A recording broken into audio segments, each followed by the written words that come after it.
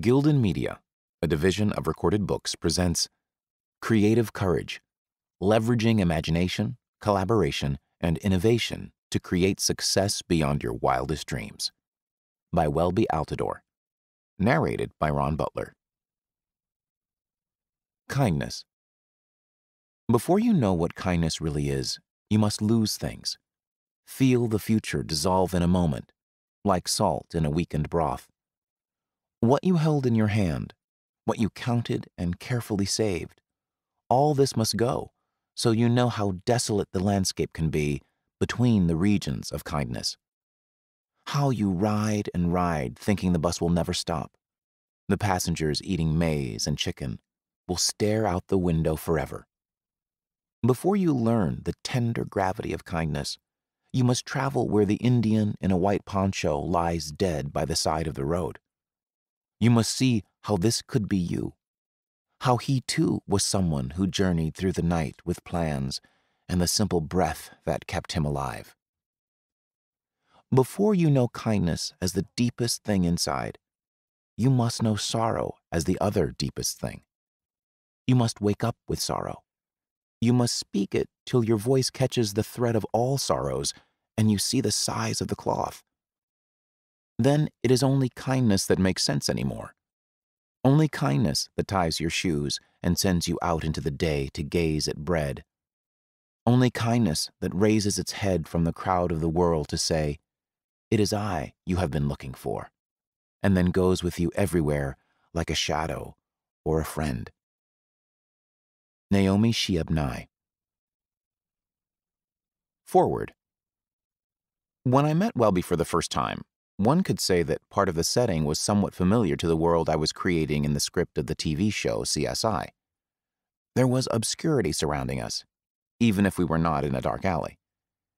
Then the shadowy, tensed atmosphere was sporadically disturbed by shots of light and music, video projections, dances, and incredible acrobatics, and by a flurry of activities on stage and in the working theater, filled with computers, artists, technicians.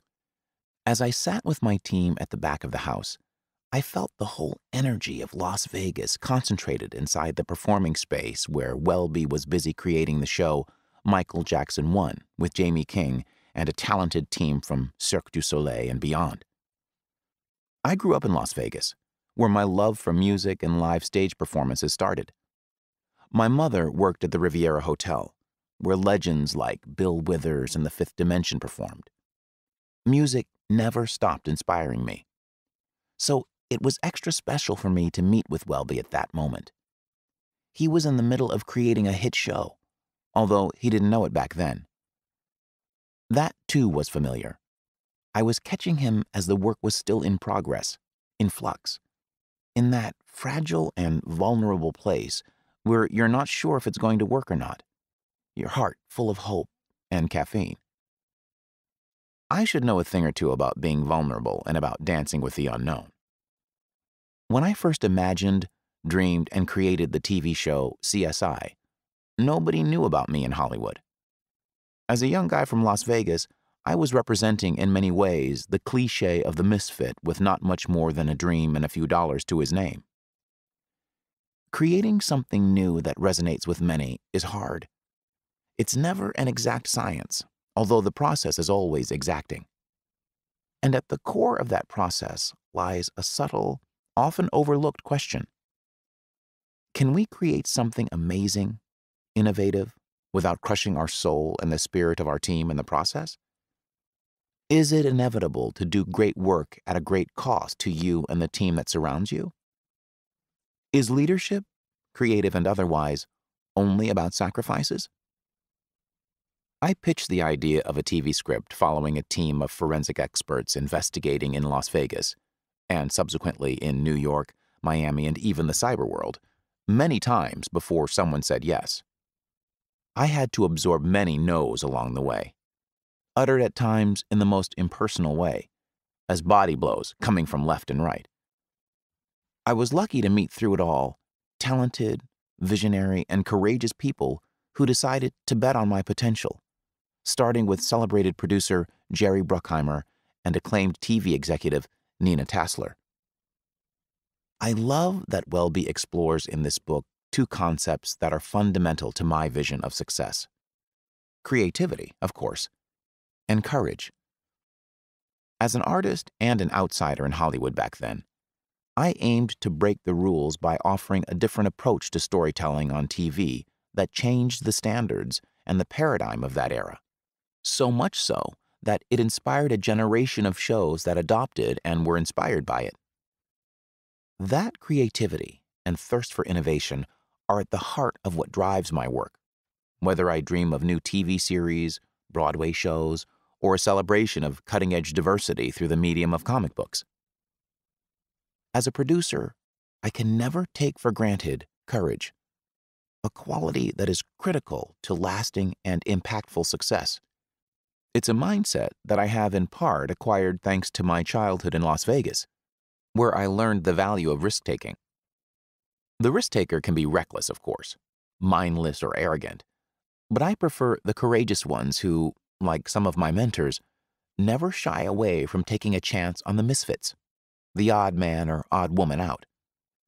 It takes courage to zig when the world zags, but this truism is also at the heart of creativity, innovation, and success. Since that first day where we met in the theater of the Mandalay Bay Hotel in Las Vegas, Welby and I continued to foster a precious friendship peppered with dreams of collaborating together on projects and mutual support, admiration for our respective work and ethos. Through the last few years, I've known Welby to be passionate about creating beautiful live experiences and shows with Cirque du Soleil. But I also discovered his passion for improving the way that beauty and innovation is created. Welby's obsession covers not only the output of work, but also the process that leads to its creation. Said differently, he's driven to create amazing things amazingly. Fearlessly, he wants to improve not only the what, but also the how of innovation. I've had the privilege to work with incredible teams of supremely talented showrunners, producers, and actors. I know firsthand how much the quality of our process, or lack thereof, affects the final product, the story, the result the way we treat people and the way we find productive ways to work together and harmonize our individual styles and beliefs all contribute to making our shows and our business great. Or not. And for every project and each new milestone, that quest needs reinvention through courage, creativity, and humility. In my industry, we are never completely in control of the destiny of our work. We are constantly waiting for a yes, for the green light of someone else on the project on which we are working. Although this is a reality that can't be completely erased or contoured, creative courage, leveraging imagination, collaboration, and innovation to create success beyond your wildest dreams, invites us beautifully and convincingly to start by saying yes to ourselves and the potential of our dreams. In that way, Welby's thoughts represent an expression of what I tried to convey years ago when I named my production company Dare to Pass. I invite you to join Welby's vivid explorations and, in the process, refuse to pass on your wildest dreams. Whether you are moving on something new, closing a chapter of your life, going deeper into your current practice, or searching for the meaning of your next quest, the stories and insights that you will discover in Creative Courage will make a difference for you and your teams. Wherever you are and whatever you do, it will inspire you to write and rewrite your precious story. Anthony E. Zuiker, Creative and Executive Producer, CSI. Preface I believe that a work culture that supports the growth of its employees creates more favorable conditions for its brand, its products, its services to be and stay relevant. Our well being, our ability to lead efficiently and creatively, is connected to the quality of our culture at work. That culture can suffer from the tension between the status quo and the need for transformation. In fact, in every culture, we find forces aimed at preserving the status quo and opposing energies dedicated to its transformation. In that potential conflict sits the promise of creativity, innovation, and breakthroughs. Finding the harmony between these two necessary forces is not easy. And when one force takes over too radically or disruptively, the other force likely reacts. When the status quo tries to impose itself resolutely, the war on imagination lives strong as a state of conflict where imagination, free association of ideas and the connection of unrelated concepts, or diverse teams and people is strongly discouraged, even punished. In other words, when the status quo takes over, the war on imagination follows. When the energy of transformation goes too fast for the people it affects, we are left with incomprehension, anger, and reactionary retraction from the world. We step back into our identities and our politics when at work. I call these moments in organizations brand grabs. We hold on to a less than optimal, often nostalgic vision of who we are. The distress between status quo and transformation stems from obvious and obscure reasons.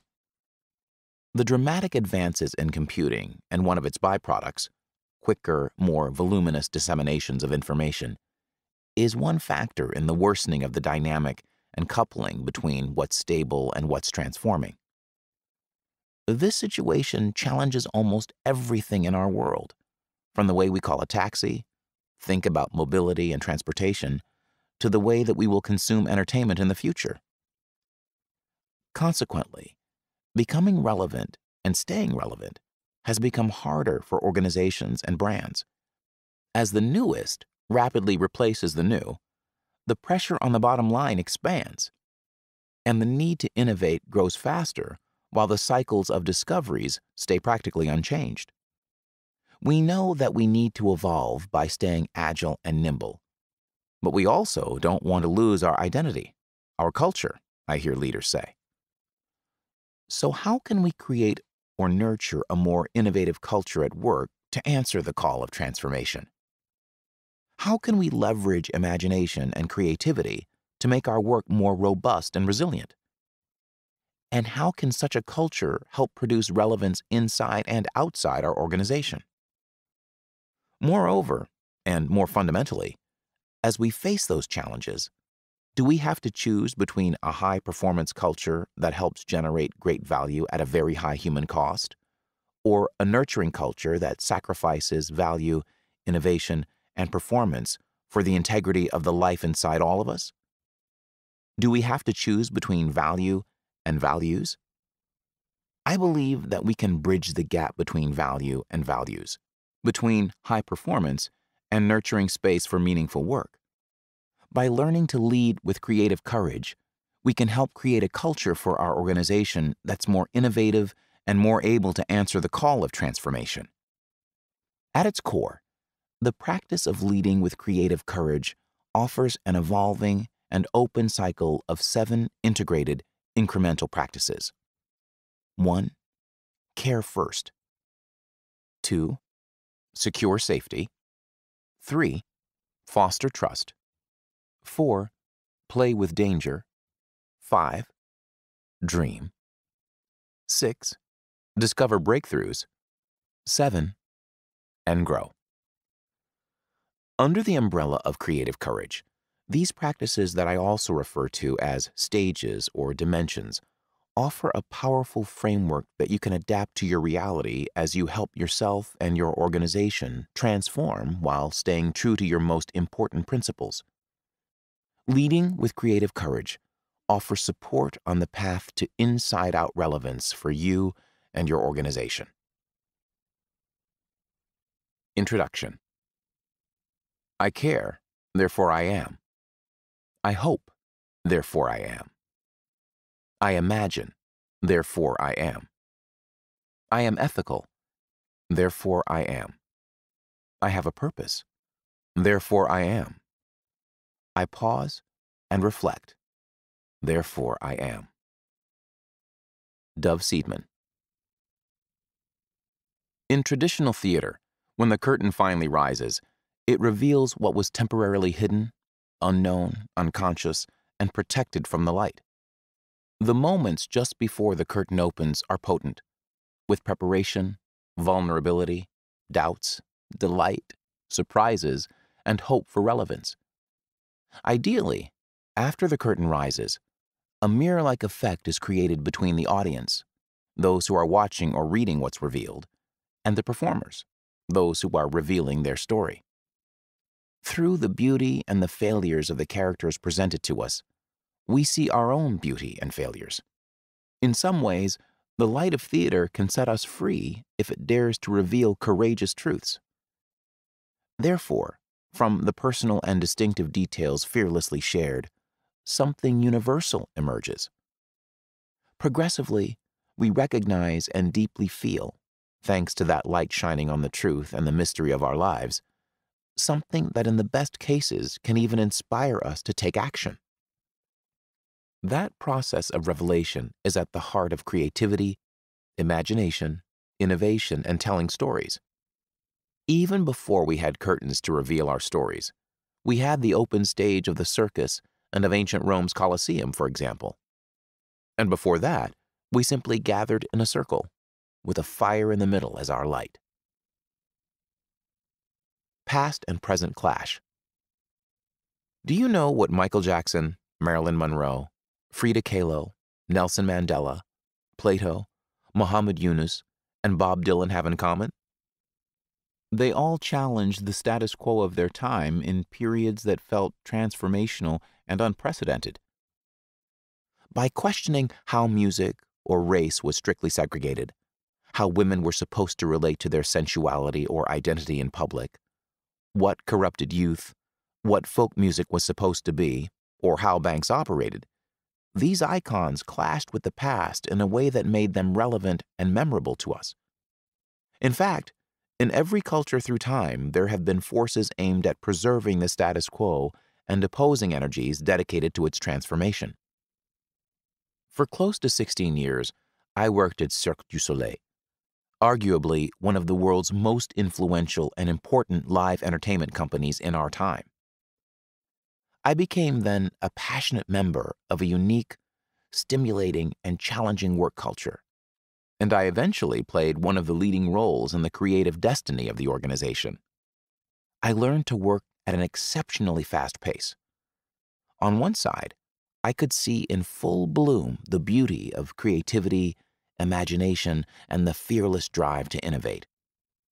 And on the other side, I witnessed and benefited from the powerful leverage of business savvy and commerce at play.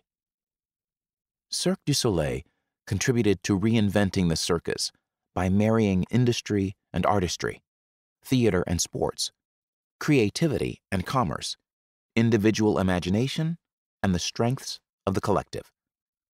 Cirque rose as a challenger to the traditional understanding of what a circus could and couldn't be, and in this way brought an unexpected modernity to an ancient form. Creativity, imagination, and innovation find their most vivid expression at the center of that same tension between the past and the present. The uncertainty of transformation. In periods of profound transformation, that tension between past and present is highly volatile, and it can increase to the point that it challenges the coexistence of our heritage, our current situation, and our aspirations to transform the present. This increasing tension affects our world today, and by extension, our lives and our work. In such times, uncertainty expands, and as a response, the urgency for finding new solutions to complex problems increases as well. It's a dynamic driving us to innovate, transform, adapt, and even ride change to prevent being a victim of unpredictable, blind transformations. This pressure to innovate and renew ourselves while honoring our past creates fear, confusion, and doubts. And when we fall in the crack of that tension between past and present, we can easily feel that we are misfits, like teenagers awkwardly standing between two ages. Under that pressure, we might ask ourselves if we are going in the right direction at work. we might wonder how we keep up with the volume and the speed of changes in our life and the lives of those around us. We wonder, are we safe? Will robots replace us? Are we about to be outsourced, outmaneuvered, or shipped away? Looking to find solutions, we might also wonder how we can create or nurture a more innovative culture at work to answer the call of transformation. How can we leverage imagination and creativity to make our work and our organizations more robust and resilient? And how can such a culture help produce relevance both inside and outside our organization? Around the world, startups, corporations, teams, dance troupes, board members, co-working space leaders, community organizations, political groups, companies, and yes, circus collectives also ask how can they create or foster more positive, constructive working environments. They discuss how the cultures created at work can be not only productive, but nurturing, resilient, and supportive of growth, transformation, and innovation. In my work with leaders from industries as diverse as technology, banking, beauty care, sports apparel, architecture, and design, all the way to the world of creativity and entertainment and live experience, which I know the most, those questions arise in different shapes and forms. Visionary leaders from all walks of life and with very different focuses wonder how to integrate more innovation and creativity in the work that they do and ask how this can be done in a way that brings more value to their group. How do we deliver relevance, meaning something that truly matters, to the people that we serve? How do we build businesses that have a long-term and sustainable positive impact on the world? How do we stay relevant considering our past successes? How do we work better together? How do we draw the best from our teams? How do we make the best of our projects? How do we create a lasting, positive, constructive impact on the people we serve and on the world? These simple, yet provocative, difficult questions, and the discussions they lead to, have inspired me to reflect on my 20-year experience in the entertainment world. In this book, although I honor the rich, unavoidable influence that Cirque du Soleil has had on my thinking, I speak in my own name rather than in the name of Cirque. Nonetheless, I also refer to my journey within this exceptional company that has provided so much inspiration for my career. Making sense of my experience. As a passionate creator and observer of the world of entertainment, but also the world of work, art, management, leadership, and creativity, I saw an opportunity to share my understanding, my point of view, and my vision in this book. No one can answer these questions alone, and there is no one answer for everyone.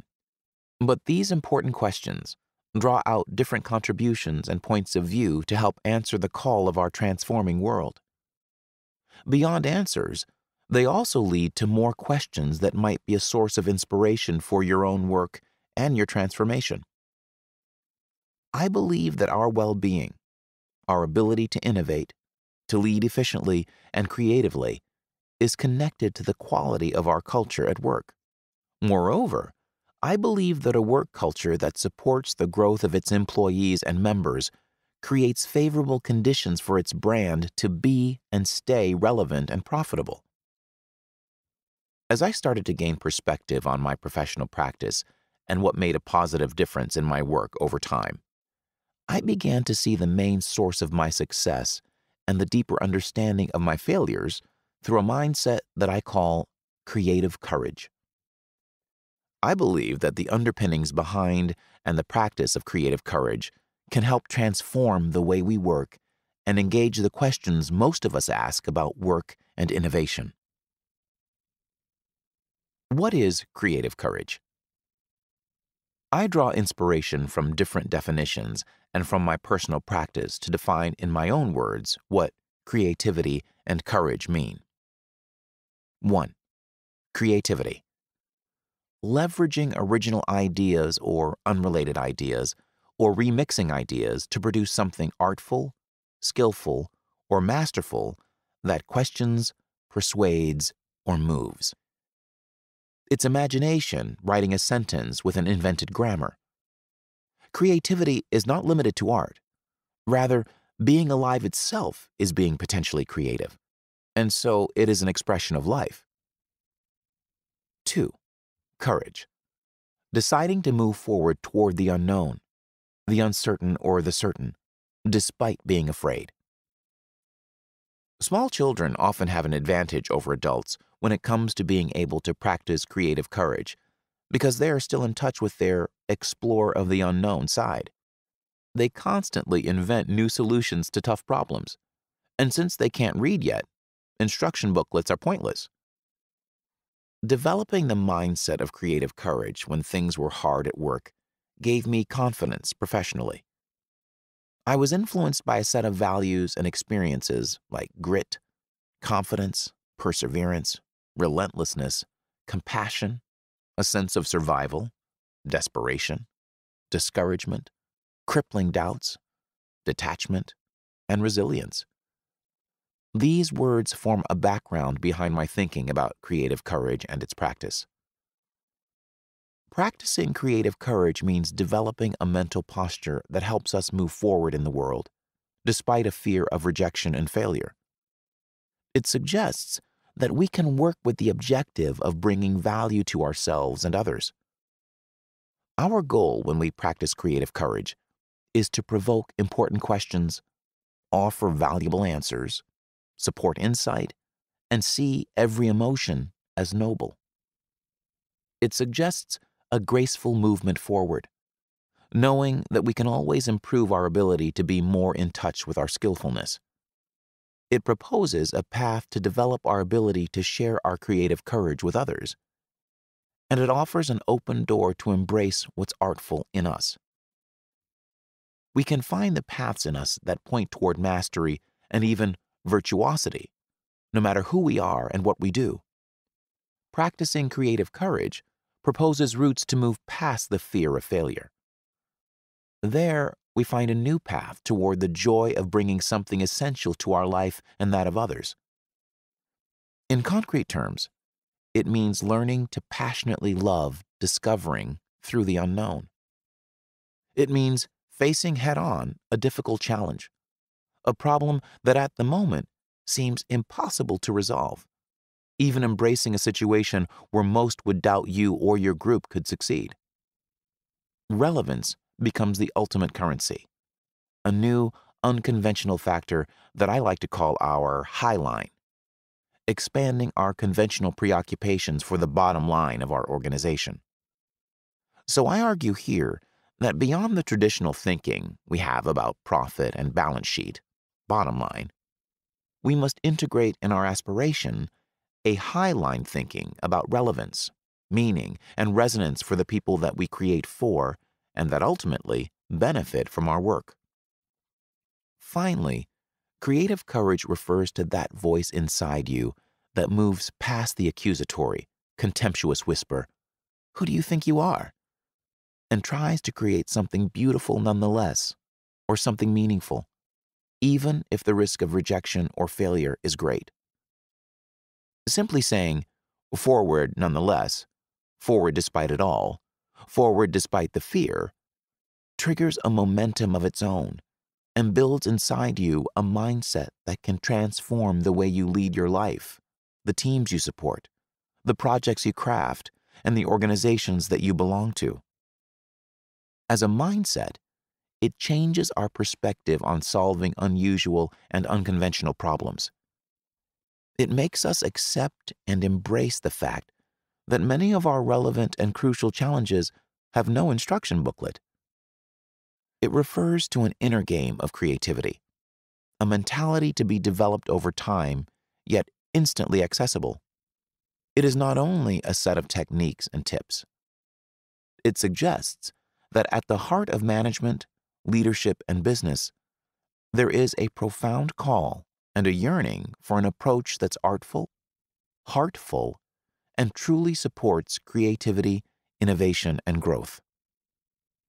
Although the practice of creative courage and the mindset behind it can help us find solutions to tough, nearly impossible problems to solve. The more potent power of creative courage can help us make sense of our differences, transforming them into a powerful advantage for business, leadership, and innovation. It can trigger a belief in our ability to find solutions to problems, despite the absence of an instruction manual or ready made answers.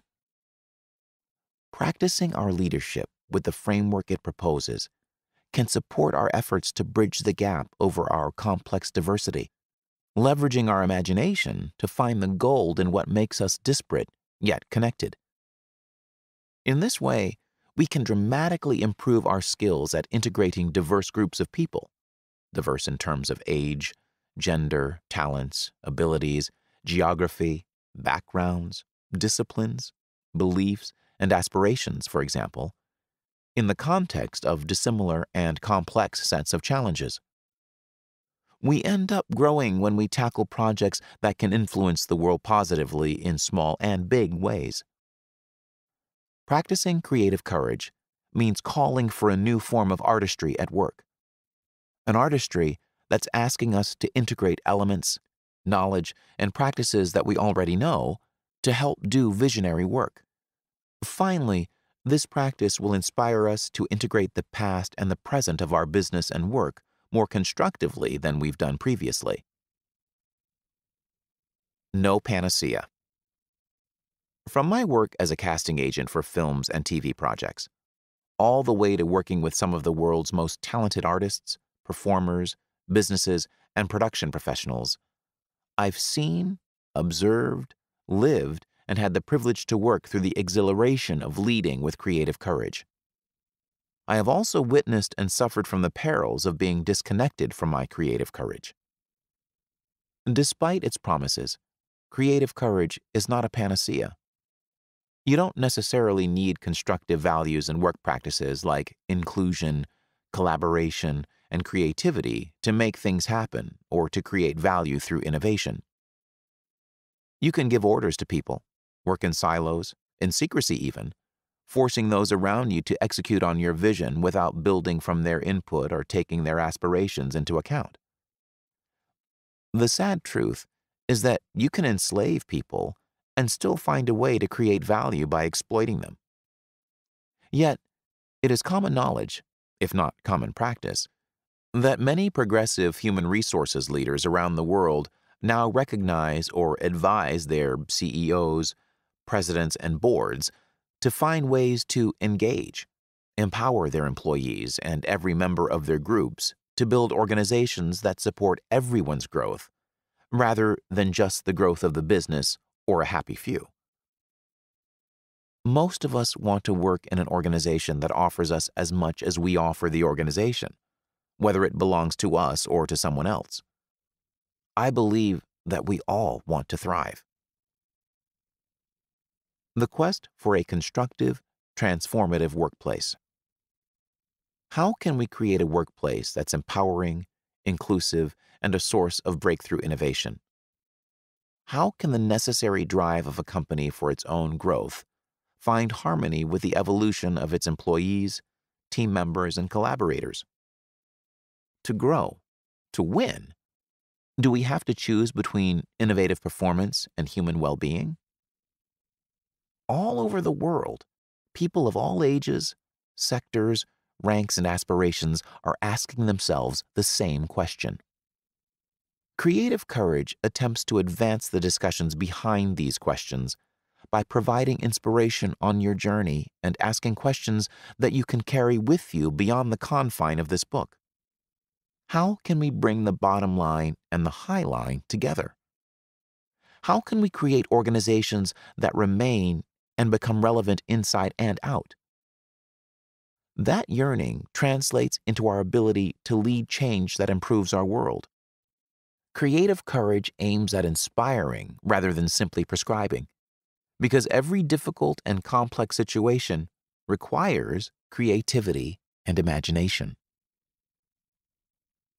Creative courage for everyone. I've said earlier that I believe that we all yearn to thrive and grow at work, individually and collectively, no matter who we are or what age we have reached. We can join great companies, create and lead distinctive organizations, or work on projects of our own design that we are passionate about. My invitation to you in this book is to join me and see how improving your organization's innovation culture means improving its entire culture. If you separate or enclose the innovation units, that is like putting creativity in a corner of your company, missing the opportunity to expand the mindset of creative courage to everyone inside of your group. There is a collective opportunity for everyone in your organization to integrate the mindset of creativity, imagination, and innovation and to contribute to the present and future relevance of your projects, goals, and aspirations. The days when only a few people in your organization had the monopoly on innovation are either numbered or already a thing of the past. In that spirit, I've developed a framework, inspired by my personal professional practice, that I hope is simple without being simplistic, and that extends on the mindset of creative courage. As you will discover, this framework can help create or consolidate your personal and organizational innovation culture. It can also help you to practice even stronger strategic review of your innovation culture at any level of your company or other type of organization. Whether you're a CEO or startup entrepreneur, the framework underneath Creative Courage can help you assess your best practices Identify the area where something is missing or needs to improve. Eliminate the approaches that are counterproductive to your innovation culture. And find the creativity to invent new practices when needed. My hope is that creative courage inspires you and people everywhere in government, business, organizations big or small, mature companies and startups, and of course, the professional creative world. We all can use creative courage to make our projects and businesses better. The practices that I discuss are not exhaustive or all original to me, but I've used all of them, and my hope is that you do too, challenging them, improving them, and adding some of your own imagination. As I wrote this book, I was reminded of how important a role humility can play when we tackle enormous challenges. Creativity imagination, and innovation are messy. And through creative courage, we can find beauty in that too. We can discover what a colleague at Cirque inspired me to integrate years ago. Things are not perfect, but we can strive for just enough perfection, what she called perfect enough.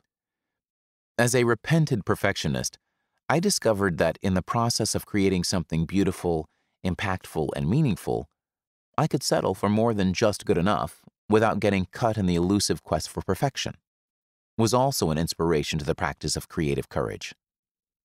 Each of the following chapters has three main sections. Section 1 raises the curtain on a personal story, often close to me, focusing on the narrative elements relevant to the main theme chapter. Section 2, titled Insights, explores concepts, practical applications, and questions that you might find useful to continue your reflection. And Section 3, Your Story, offers a space for your own reflection, reaction, and emotions to the content to expand. In this section, I also summarize the essence of the chapter and add a checklist of few key reminders.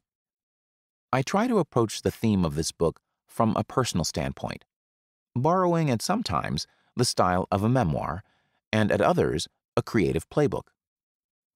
Always my intention has been to approach things as simply as possible, again while avoiding being simplistic. In my work on stage and beyond, I aim for profound simplicity, no matter the subject. It's my way to attempt at speaking truth. I begin this exploration of the practice of creative courage by looking first at what makes any culture, at work and beyond, compelled to discourage imagination, what I call the war on imagination. To better understand the scope of what practicing creative courage means, it's relevant to better understand what happens when we live through a culture that discourages or makes it difficult to be creatively courageous. Even more so, it's pertinent to see what can happen when we integrate the rules of that culture, the war on imagination, in us. In fact, I can say that I discovered my creative courage, in large part, after losing it. Chapter 1 The Central Problem Affecting Work The War on Imagination and How I Lost My Creative Courage. Have cake and tea with your demons. When we shun our own darkness, our weaknesses, our anger, our sadness, our shame, our pain, we are disconnecting ourselves from the full spectrum of elements that exist within ourselves and the rest of the universe. Yumi Sakugawa 1. Raising the Curtain Finding in North Korea the words for an old problem. I was on my way to lunch in Pyongyang, the capital of North Korea, officially the Democratic Republic of Korea, DPRK, on my third day there. Every day at the Koryo Hotel, one of the only lodging options in the city for foreigners, I was greeted by an ageless man as the elevator's doors opened. His responsibilities seemed to be to discreetly smile when someone entered the elevator and press the buttons leading to the appropriate floors. From my limited point of view, his third task seemed the most consequential. It was to arrange, impeccably, a doormat-sized carpet on the elevator's floor, indicating, in English, the day of the week. The daily ritual of leaving my room and walking through an absurdly dimly lit corridor on one of the highest floors of the hotel was systematically accompanied by this visual reference to the current day of the week. Monday, Tuesday, Wednesday.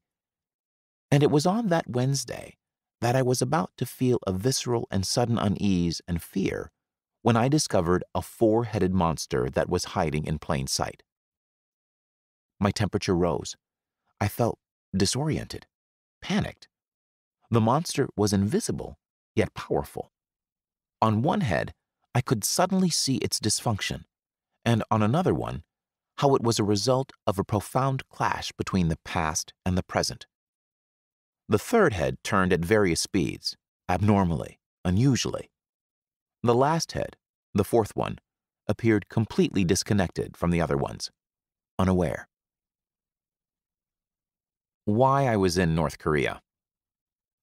Some of the world's best flying trapeze acts ever created come mostly from the former Soviet Union's countries, Russia, Ukraine, from China, and less known, from North Korea. For close to two decades, troops from North Korea won many major prizes and gold medals in some of the most prestigious festivals and competitions on the International Circus Arts event circuit Monte Carlo, Monaco, Circus of Tomorrow in Paris, Zhuhai in China, and others. In fact, they typically won the biggest prize in their category. The reputation of these troops in the international talent scouting circles was not a secret. And everyone also knew that it was nearly impossible to hire artist troops from that region other than for short stints in international festivals and performances in China. The prestige of those flying trapeze troops was a source of pride for North Korea, and its government was actively supporting their development. Circus in North Korea was an outlet to demonstrate the talent of its designers and acrobatics and the might of its people. Bringing such a troupe to the Cirque du Soleil, based in the West, and offering contracts spanning generally two years, suggested major, controversial cultural clashes. In short, it felt impossible to bring such a troupe to the West despite their recognized talents. A new role for me cultural diplomat. I was in North Korea by mere chance. By the beginning of 2008, I had already played several important functions at Cirque du Soleil within the talent casting team. I had traveled the world to find distinctive contortionists and trapeze artists, but also dancers, singers, physical actors, musicians, and even comic actors or clowns who formed the different troupes of the Cirque du Soleil shows. I was now in charge of leading discussions to create collaborations with sports federations, arts organizations, and circus schools around the world. In the evolution of my roles as talent scout, and later as director of the casting advising team, I was acting as a sort of cultural diplomat for Cirque du Soleil, with the title of Strategic Relationship Director for Arts, Sports, and Circus. With the company presenting over 15 different shows simultaneously around the world, my new objective was to facilitate the access and the long term recruitment of artists by developing an international network of partnerships between Cirque du Soleil and many national and global federations and schools. This role offered me the opportunity to work closely with several pioneers and experts in body movement, entertainment technology, the performing arts, sports high performance, and circus arts at Cirque du Soleil and beyond. A beautiful, impossible objective. The utopian and positive spirit present in Cirque du Soleil's creation was both a source of inspiration and a reinforcement of some of my instincts. In my naive, idealistic view of the world and my excitement over this new role, I had set a few key goals for myself and the small team I was working with. One of my objectives was to establish the groundwork for an eventual connection between our team of professional acrobatic designers, arguably some of the best in the world. We hope you enjoyed this preview. To continue listening to this audiobook on Google Play Books, use the link in the video description.